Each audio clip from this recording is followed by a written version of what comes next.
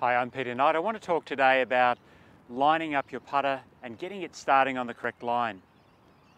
I've set up this little drill here which I'll show you a little bit more closely in a moment. In the, on the line of my putt I've got a couple of tees and if I hit my ball straight it's going to roll straight through those tees there. Now one of the things that I want to do at the start though is make sure that my putter face is lined up as squarely to the hole as I can. Now the putt that I've chosen here is a straight putt of about uh, three meters, nine feet. And what I'm going to do is I'm going to use just, this is a, a piece of plastic, but could, you could just as easily use, say, an envelope with a line drawn right down the middle of it. I'm going to set my putter face up, move the ball out of the way, and then when I think that I'm lined up as correctly as I can, I'm going to put this down in line with the putter face, and then when I step back, and I can check and see whether or not my putter face is lined up correctly.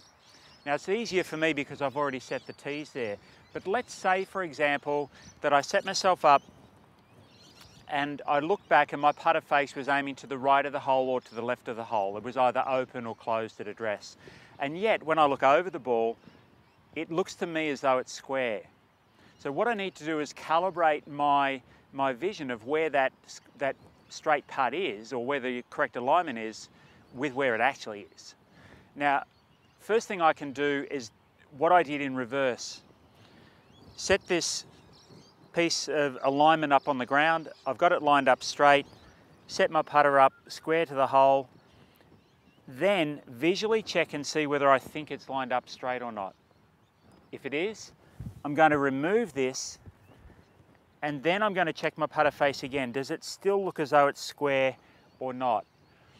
If I'm struggling with that, I'm going to go closer to the hole and do exactly the same thing but from a very short distance from the hole and then work my way back.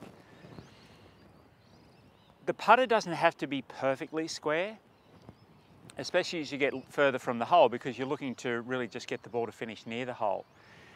You will also automatically make some adjustments in order to get the ball started on the line that you want to. Uh, often your playing partners might be standing behind you and tell you after you've putted the ball into the hole that you weren't actually lined up straight at address because we do make these micro adjustments. That happens after you've been playing golf for a little while. Okay, so let's have a look and see how this actually works. So first thing I'm going to do is make sure that my putter face is lined up straight and that looks to me like it's going pretty much toward the hole. I hope you see the same thing.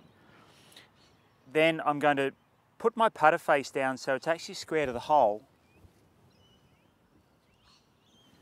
And then put my ball behind there, make sure that I'm still lined up straight and then hit my putt.